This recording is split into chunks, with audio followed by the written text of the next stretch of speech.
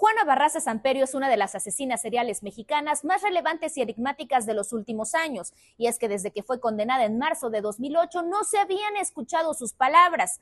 Hasta ahora, pues un medio de comunicación que se caracteriza justamente por entrevistar a personas que se encuentran en prisión, tuvo la primicia de escuchar el relato de la denominada Mata Viejitas, quien habla sobre su difícil infancia, su paso por la lucha libre, pero sobre todo alega su defensa. Y es que a pesar de ser sentenciada a más de 700 años en prisión, acusada del homicidio de 17 mujeres de la tercera edad y en su momento haber confesado su culpabilidad, a casi dos décadas de permanecer recluida en Santa Marta Catlita, se dice no solamente inocente, sino también asegura haber sido víctima de engaños y amenazas, haciéndola firmar papeles en blanco, por lo que denuncia una serie de irregularidades que ni las autoridades han podido explicar. Pero recordemos algo, en julio del año pasado una famosa plataforma de streaming lanzó un documental titulado La Dama del Silencio, con una particularidad.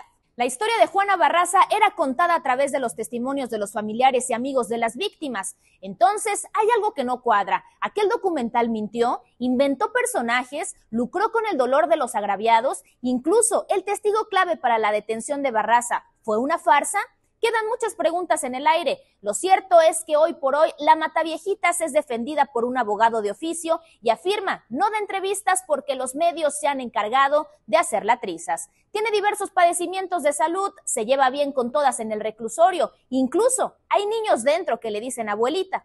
Ha terminado la secundaria y confía en demostrar su inocencia para pasar sus últimos años de vida en compañía de sus hijos y nietos. Declaraciones que abren interrogantes sobre la veracidad de las acusaciones y la integridad del proceso judicial, porque aquí no existe la ley. El rico es el que sale, asegura. ¿Usted qué opina? Yo soy Berenice Maldonado y lo espero de lunes a viernes en punto de las 3 de la tarde, en la segunda emisión de Noticieros, Expresa TV.